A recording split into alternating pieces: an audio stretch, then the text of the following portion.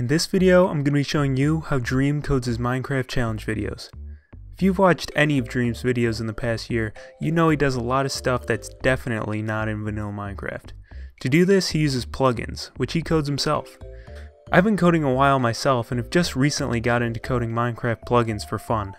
Be sure to check out some of the Minecraft videos on my channel using plugins that I've made myself, just like Dream, and subscribe for more coming in the future.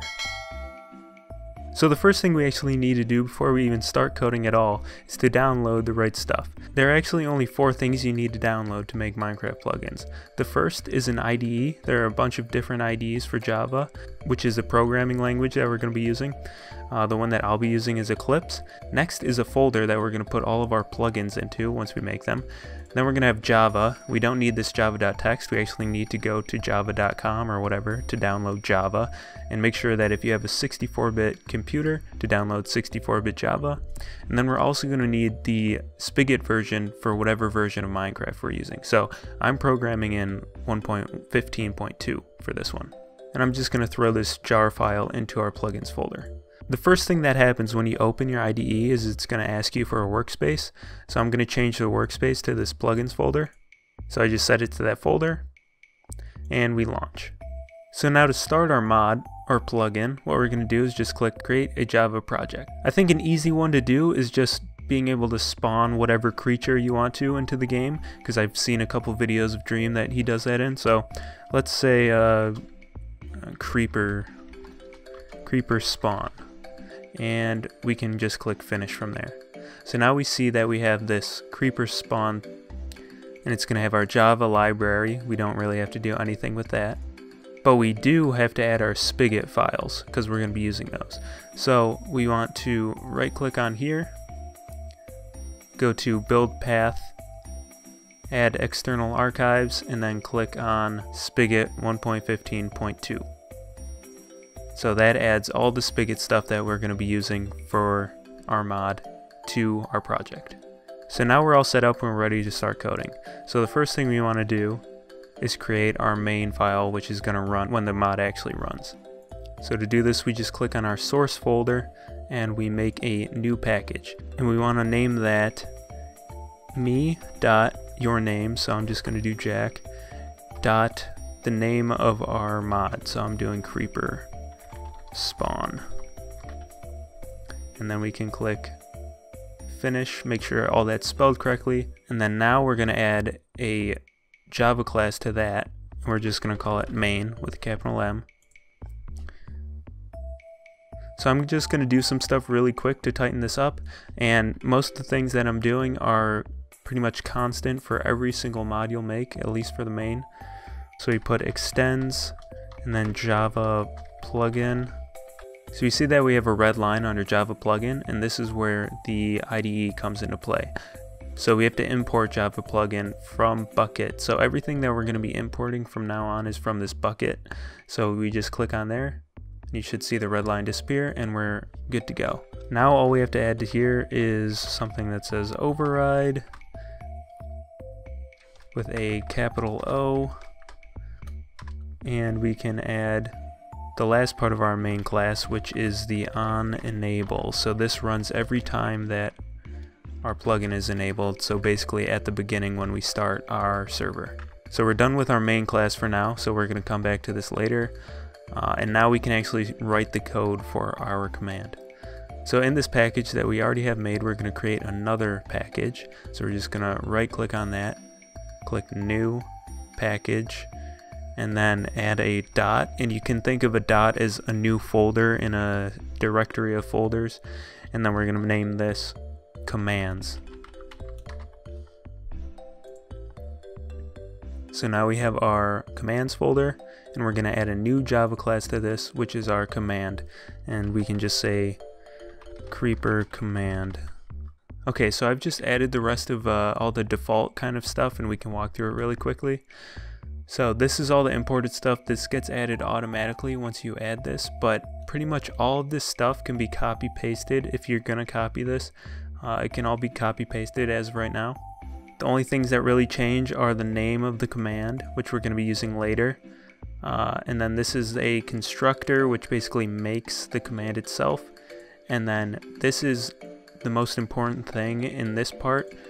This actually sets the command which is to be written in the server by the player. So to get this command to run when we're in the actual game, we're going to do slash creep spawn. And then this is what the command actually does. So when the command is run, it goes into here and we have these values. So the command sender is the player that sends the command. The command is the command itself.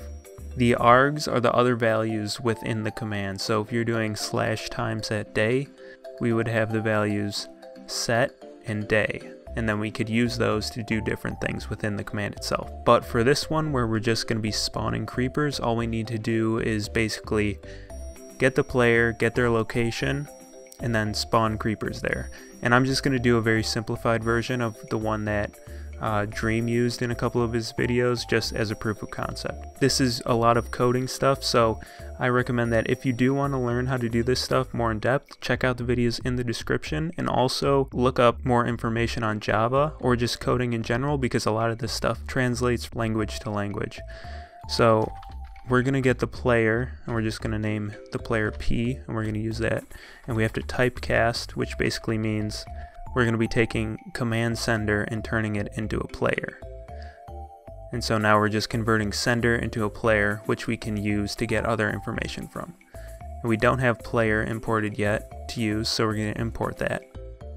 So now we have our player all set up. And now we want to get the location of the player. And we can do p dot get location and that gets the location of the player. We don't have location so we're going to import location. And you want to make sure so you can see that there are these other locations but we only want the location from Bukkit or spigot. So we're just going to use a simple for loop to spawn our mobs.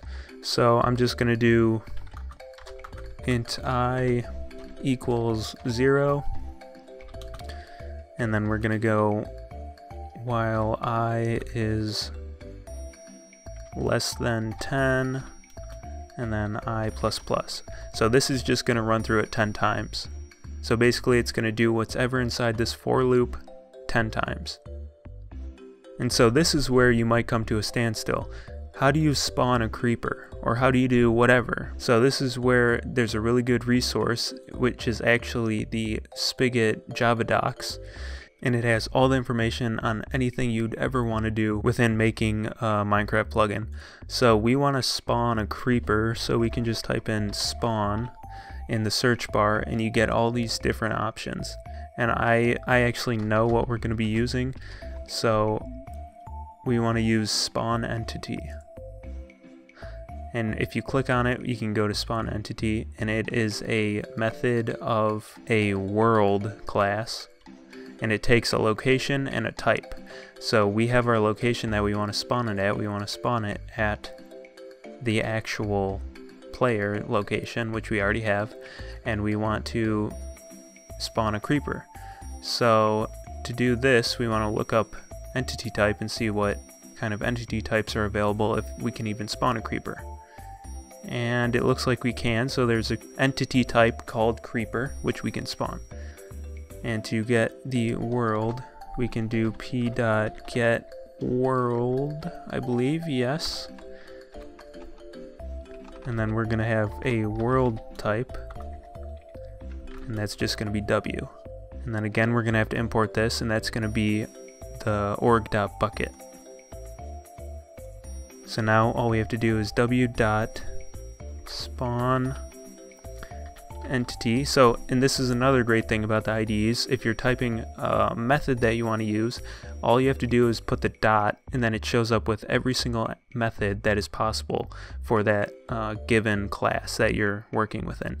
So we want to spawn an entity, so we can just click on spawn entity. We want to spawn it at location lock, and entity type creeper. So we're just going to put entity type dot creeper. So now that should work. What this is going to do is it's going to load in the command. It's going to say if this command gets run, creep spawn gets run, it's going to run what's ever in here. We're going to get the player that runs it. we're going to get the player's location, then we're going to get the world that the player's in.